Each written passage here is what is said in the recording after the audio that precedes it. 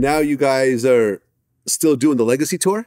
We're done. We're done. the Okay, Legacy Tour. right. Legacy Tour, which uh, with Keith Sweat was opening up for you guys, which is an interesting. uh, LSG, guy, you know, and, uh, and Tank, Tank. and Guy, yeah, my yeah. man. It was you fun. know, my Yeah, man Teddy Riley, who I've interviewed before. Yeah, it was fun. Uh, which is like kind of like Guy used to tour around with the original New Edition. yeah, and- yeah. So and we bought the original guy back. So it was Aaron, Damion, and uh, Teddy.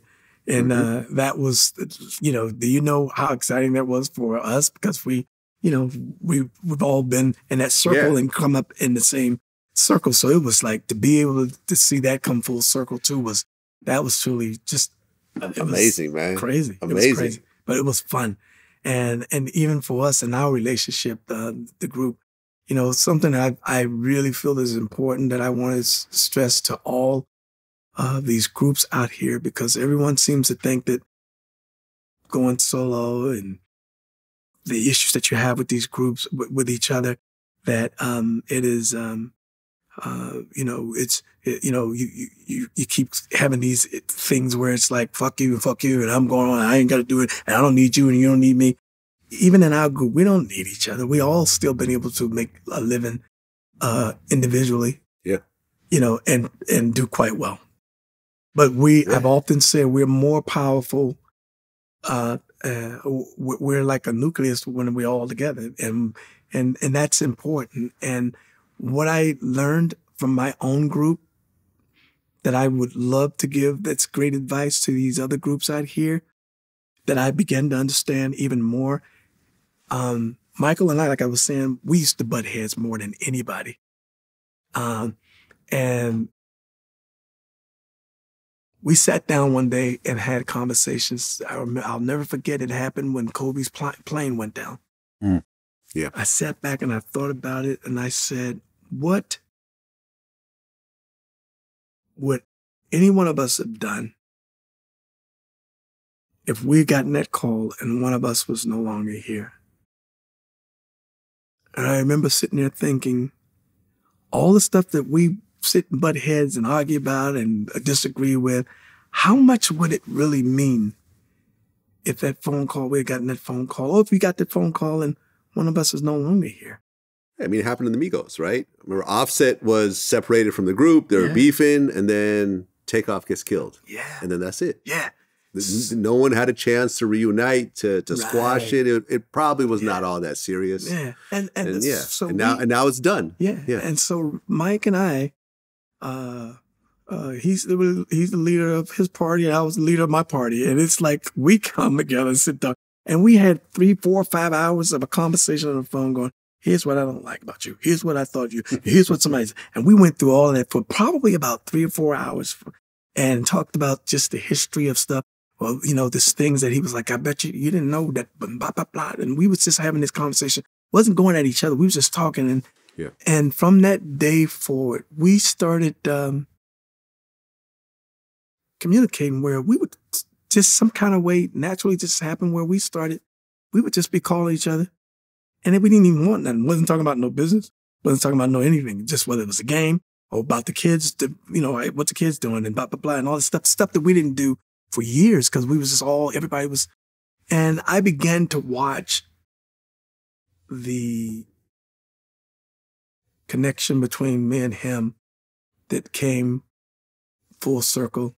And today you can't tear me and him apart. It's like, it's impossible. Love it. And, you know, and what I did was with the other guys, we sat down finally and I realized, I kept saying, what is it and why is it that we all want the same thing, but yet we still cannot seem, we couldn't seem to figure out how to come together on the business of stuff. Then I realized it came to me.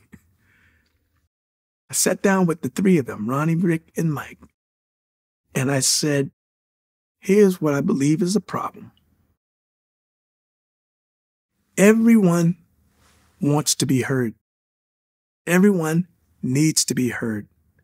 Everyone wants to have a voice. You got to understand what we were doing with each other, and most people do, which is not, which is pretty normal. You just do. Somebody says something that you don't agree with and sounds crazy. The first thing you go, that motherfucker must be crazy. Hmm. that sounds that there's no Do you know what that would do if we did that? Bah, bah, bah, bah, bah. And what I learned, what I learned from that, and I understood and took from that when I when it all came to me, I, it was about understanding that no matter whether what what a person says, if it's, it might be the craziest idea that they have, and I, but you can't be dismissive to people. It has to be where you have to respect them, and, even if you disagree or you might be thinking in your head, you still have to allow them to speak and learn that you have to be respectful and understand that you cannot be dismissive to people when they want to talk or want to be heard or they have ideas. It is important that you hear from every individual and then we sit together collectively and figure out, okay, what's the best way you guys think we should do this?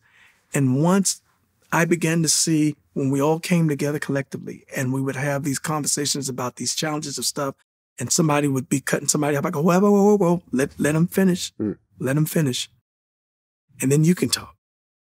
And as we began to practice that and exercise that and going down the line with allowing each individual to talk, whether it was crazy or not, and we might be thinking in your mind, what? But you still uh, respected and allow them and then said, okay, let's sit down and listen to figure out which way we should ultimately go with this. It allowed everybody that to be heard. And then at the end of the day, all of us started going in direction where we go, okay, what do you, what do you, what do you think? What do you guys think? And whoever and whatever the majority was that we ruled, you would go, okay, cool. If that's what y'all want to do, I'm, you know, and it, it wasn't a problem. Why? Because it reached a point where everybody felt like they were being heard. Everybody felt like they had a voice and that they had some level of value. And that allowed us to be able to come in a place to come together to work where we've had, we haven't had no hit records. We haven't had no hit movies in the last two or three years. None of that stuff.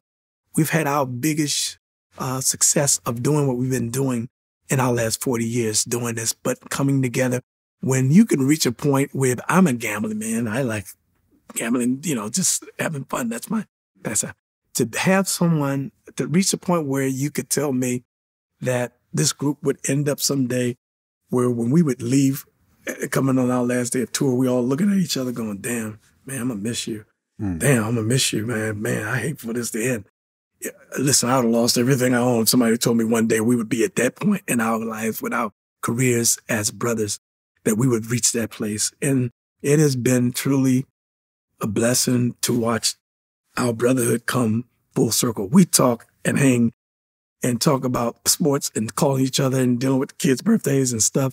Um, like just now grown up siblings where it's not about necessarily we even call it talking about business, and I mean, each, all of us to want each other. So it's not like it's just me and Ralph, or might be just me and Mike. I mean, me and Rick or Ron or somebody, we all just, you know, have reached that level, um, in our brotherhood. And I realized, I said, this is, was about respect. And this was about respecting the next man and understanding how, um, everybody wants to be heard. And then I realized that even in arguing, when you see people argue, they, it gets loud because even no matter if somebody's right, another person might be wrong even if you're right, the person can't hear you when they're on the defense. Yeah. So at some point you have to learn, and that's why it gets loud because they're trying to be heard. Yeah. So to sit and learn mm. how to to put yourself in a position to sit, whether you agree to disagree, to listen and hear someone out. And then when they're done, then to say, okay, are you done? I, I hear what you're saying.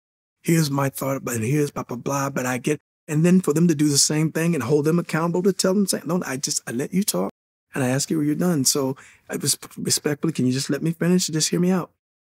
It gives you so much of an even ground and playing field to be able to figure out what's happening and can we come to and find a solution. I love it. I love it. Johnny Gill, man, That's thank you so much. Groups.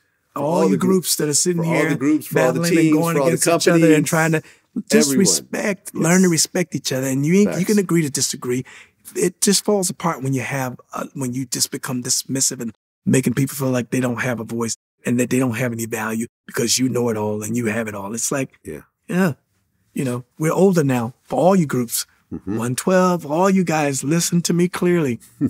we got more days behind us than we do in front of us. And when you've all worked hard, hard and have put in uh, the work that you put in to make that entity the level, uh, the, the, the, uh, the value that it has. Everyone has made a contribution. And it's just important at this stage of your life to realize and figure out how to come together, compromise, and understand that, you know, we got more days behind us than we do in front of us, all of us.